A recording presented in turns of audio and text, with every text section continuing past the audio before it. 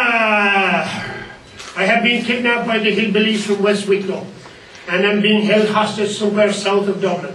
The people who have taken me have said that they will not release me until a large amount of money has been paid into the Ulster Bank or the Allied Irish Bank in Blessington.